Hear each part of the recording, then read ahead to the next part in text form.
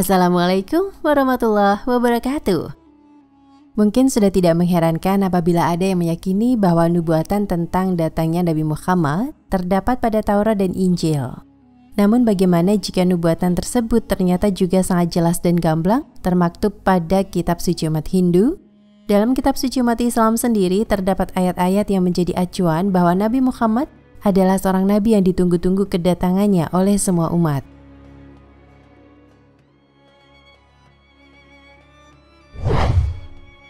1.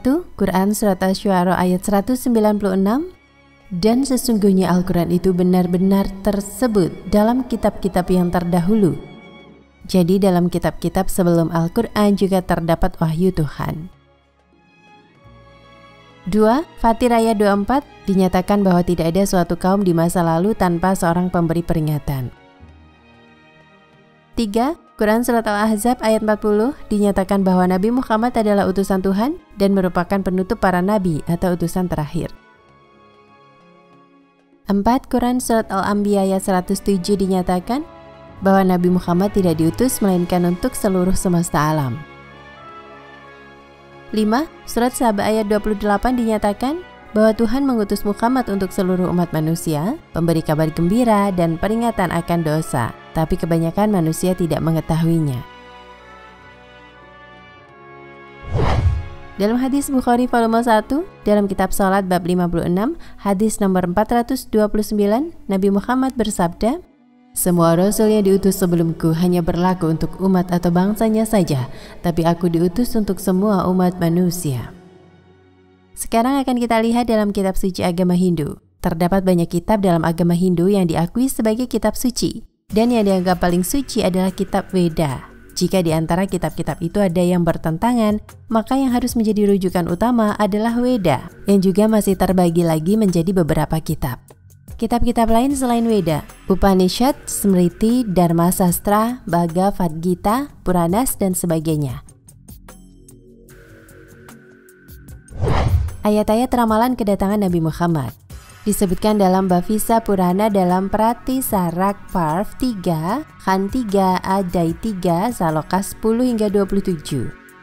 Arya Dharma akan tampil di muka bumi ini. Agama kebenaran akan memimpin dunia ini. Saya diutus oleh Ishparmatma, dan pengikut saya adalah orang yang berada di lingkungan itu yang kepalanya tidak dikucir. Mereka akan memelihara jenggot dan akan mendengarkan wahyu. Mereka akan mendengarkan panggilan sholat atau azan mereka akan memakan apa saja kecuali daging babi. Mereka tidak akan disucikan dengan tanaman semak-semak atau umbi-umbian, tetapi mereka akan suci di medan perang. Mereka akan dipanggil musalaman atau perantara kedamaian. Jika Anda baca tulisan di atas dengan baik, maka Anda akan melihat bahwa ciri-ciri dari pengikut agama kebenaran yang disebutkan adalah ciri-ciri yang umum terdapat pada umat Islam. Dalam Arta Faveda Book 20 Himen 127 Selokas 1 hingga 14 disebutkan tentang kuntub suktas yang mengisyaratkan bahwa Nabi Muhammad akan terungkap kemudian. Mantra satu mengatakan ia akan disebut Nara Sangsa. Nars artinya orang, Sangsa artinya yang terpuji. Jadi Nara Sangsa artinya orang yang terpuji. Kata Muhammad dalam bahasa Arab juga berarti orang yang terpuji. Jadi Narasangsa dalam bahasa Sanskerta adalah identik dengan Muhammad dalam bahasa Arab. Jadi Narasangsa adalah figur yang sama dengan Nabi Muhammad. Ia akan disebut Kaur Rama yang bisa berarti pangeran kedamaian dan bisa berarti orang yang pindah atau hijrah. Nabi Muhammad adalah seorang pangeran kedamaian yang hijrah dari Mekah ke Madinah. Ia akan dilindungi dari musuh yang dikalahkannya yang berjumlah 60.090 orang. Jumlah itu adalah sebanyak penduduk Mekah pada masa Nabi Muhammad hidup, yaitu sekitar 60 ribu orang. Mantra 2 mengatakan, ia adalah resi yang naik unta. Ini berarti ia bukan seorang bangsawan India, karena dikatakan dalam Mansuriti 11, 202 menyatakan bahwa Brahma tidak boleh menaiki unta atau keledai. Jadi tokoh ini jelas bukan dari golongan Brahmana atau pendeta tinggi Hindu, tetapi seorang asing. Mantra 3 mengatakan, ia adalah Mama Rishi atau Resi Agung. Ini cocok dengan Nabi Agung umat Islam yaitu Nabi Muhammad Wasallam. Mantra 4 mengatakan, Ia adalah Was Wereda atau Reb, artinya orang yang terpuji. Nama Muhammad yang juga dipanggil dengan nama Ahmad adalah berarti juga orang yang terpuji, yang terjemahan bahasa Sanskertanya adalah Reb.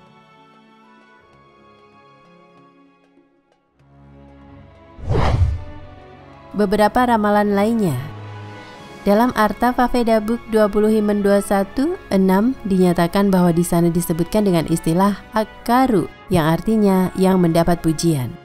Dia akan mengalahkan 10.000 musuh tanpa pertumpahan darah.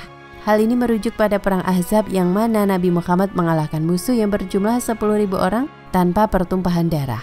Dalam Arta Faveda Book 20 Himen 21 7 dinyatakan bahwa Abandu akan mengalahkan 20 penguasa. Abandu juga berarti seorang yatim atau seorang yang mendapat pujian. Ini mengarah pada Nabi Muhammad yang seorang yatim sejak lahir dan arti kata Muhammad atau Ahmad yang berarti yang terpuji, yang akan mengalahkan kepala suku-suku dari suku-suku di sekitar Mekah yang berjumlah sekitar 20 suku. Dalam Rik Veda Book 1 Himen 539, Nabi dipanggil dengan sebutan Suselama yang artinya lagi-lagi adalah orang yang terpuji yang merupakan arti dari nama Muhammad. Dalam sama Veda Agni Mantra 64 dinyatakan bahwa ia tidak disusui oleh ibunya. Hal ini persis dengan Nabi Muhammad yang tidak disusui oleh ibunya tetapi oleh seorang wanita bernama Halimah. Dalam sama Veda Utara Cika Mantra 1500 dinyatakan bahwa Ahmad akan dianugerahi undang-undang abadi yang jelas mengacu pada Nabi Muhammad yang akan dianugerahi kitab suci Al-Quran. Tetapi orang India yang berbahasa Sanskerta tidak paham kata Ahmad, maka diterjemahkan menjadi A dan Mahdi, yaitu saya sendiri. Jadi diartikan saya sendiri yang menerima undang-undang abadi. Padahal seharusnya Muhammad sendiri yang dianugerahi undang-undang abadi.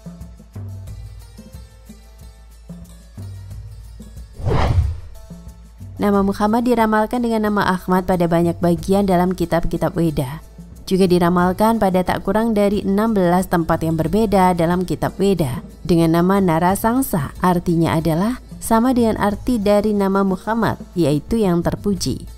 Salah satu ramalan kedatangan Nabi Muhammad yang sangat terkenal yang juga telah membuat seorang profesor bahasa dari Allahabad University India mengajak kepada umat Hindu untuk segera memeluk agama Islam adalah terdapatnya sebutan ramalan penting dalam kitab suci Hindu tentang kedatangan yang ditunggu-tunggu dari seorang Kalki Altar. Al yang artinya turun, tar yang artinya melewati. Jadi kata altar adalah diturunkan atau diutus untuk turun. Kalki altar artinya adalah utusan terakhir.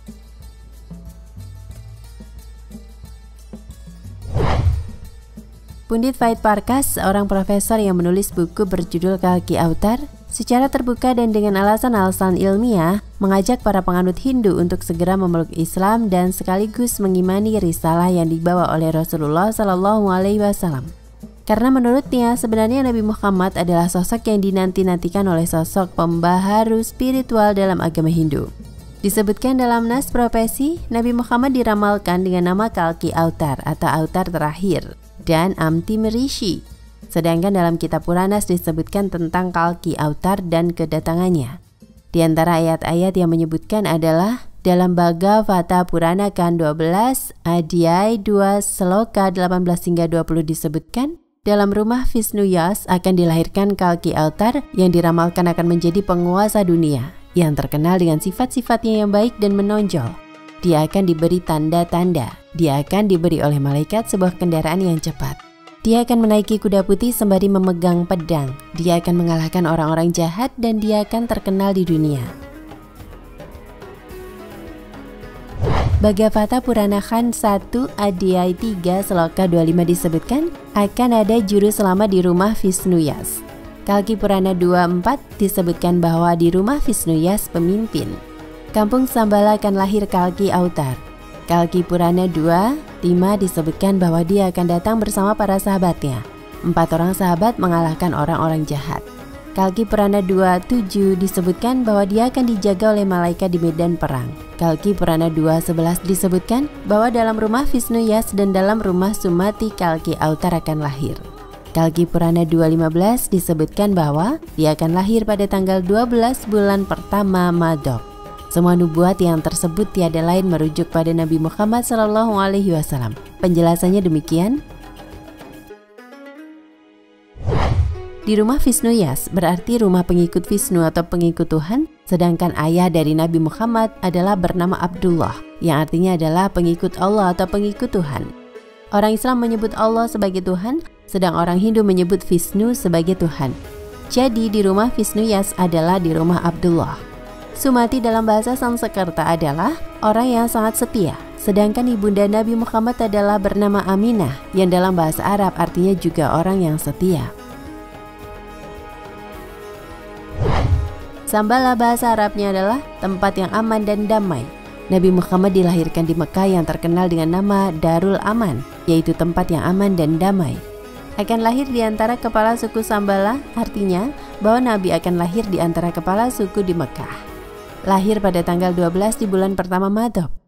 Nabi Muhammad lahir pada tanggal 12 Rabiul Awal sebagai Amti Merisi atau resi terakhir. Nabi Muhammad adalah juga nabi terakhir dari deretan nabi-nabi yang dikirim Tuhan seperti yang terdapat pada Quran surat Al-Ahzab ayat 40. Dia akan memperoleh bimbingan di atas gunung dan akan kembali ke arah utara. Nabi Muhammad memperoleh wahyu pertamanya di Gua Hiro di Jabal Nur. Jabal Nur artinya gunung cahaya, lalu kembali lagi ke Mekah. Dia akan memiliki sifat-sifat yang sangat mulia, persis seperti Nabi Muhammad, seperti terdapat pada Quran Surat Al-Qalam ayat 14, dan sesungguhnya kamu benar-benar berbudi pekerti yang luhur. Kaki Autar akan diberi delapan kemampuan spiritual yaitu bijaksana, punya kendali diri, keturunan yang terhormat, punya pengetahuan wahyu, pemberani, perkataannya bertarget kurikulum, sangat dermawan dan sangat ramah. Semuanya adalah sifat-sifat yang dimiliki oleh Nabi Muhammad. Dia akan diberi kendaraan yang sangat cepat oleh Sifa. Nabi Muhammad juga diberi buruk yang sangat cepat oleh Allah yang membawanya ke langit dalam peristiwa Mi'raj. Dia akan naik kuda putih dengan tangan kanannya memegang pedang. Nabi Muhammad juga ambil bagian dalam peperangan, termasuk dengan menunggang kuda dan bertempur dengan memegang pedang di tangan kanannya. Dia akan menjadi penyelamat umat manusia. Dalam Quran Surat Fatir ayat 24 dan Quran Surat Sabah ayat 28 disebutkan bahwa Nabi Muhammad adalah pembawa berita gembira dan peringatan bagi seluruh umat manusia. Tapi kebanyakan manusia tidak mengetahui. Dia akan menjadi pembimbing ke jalan yang benar. Nabi Muhammad hidup pada zaman jahiliyah yang penuh kegelapan, di mana ia membawa umatnya ke jalan yang terang benderang. Dia akan dibantu oleh empat sahabat dalam menyebarkan misi. Kita tahu ada empat orang khalifah sahabat Nabi yaitu Sayyidina Abu Bakar, Umar bin Khattab, Utsman bin Affan, dan Ali bin Abi Thalib. Dia akan ditolong oleh malaikat di medan pertempuran. Dalam perang Badar, Nabi Muhammad dibantu oleh para malaikat Allah seperti tersebut dalam Quran Surat Ali Imran ayat 123 dan 125. Jika kamu bersabar dan bertakwa dan mereka menyerang kamu dengan seketika itu juga, niscaya Allah menolong kamu dengan 5000 malaikat yang sudah memakai tanda. Juga Quran Surat Al-Anfal ayat 9 yang berbunyi, Sesungguhnya aku akan mendatangkan bala bantuan kepadamu dengan seribu malaikat yang datang berturut-turut. Ternyata sekian banyak ayat tersebut yang sebenarnya belum semuanya ditampilkan, silahkan temukan referensi lainnya. Prophecies in Hindu Scriptures menceritakan akan datangnya seorang nabi yang ditunggu-tunggu oleh umat Hindu. Begitu cocok dengan gambaran Nabi Muhammad umat Islam dan sejarahnya. Hal ini juga merupakan pembuktian yang diberikan Allah bahwa Nabi Muhammad memang diutus Allah untuk seluruh umat manusia. Rasul artinya seseorang yang mendapat wahyu dan diperintahkan menyampaikannya. Tauhud secara bahasa artinya melampaui batas. Secara istilah, Tauhud adalah semua yang disembah selain Allah, sedangkan ia ridho disembah. Maksud ayat di atas adalah Allah Subhanahu wa taala memberitahukan bahwa dia telah mengutus pada setiap umat seorang rasul yang mengajak mereka menyembah hanya kepada Allah Subhanahu wa taala dan meninggalkan sesembahan selainnya. Dia senantiasa mengutus para rasul untuk mengajak kepada tauhid sejak terjadinya kemusyrikan pada anak cucu Adam, yaitu pada zaman Nabi Nuh alaihi salam hingga dia tutup dengan rasulnya Muhammad sallallahu alaihi wasallam. Wallahu alam bisawab.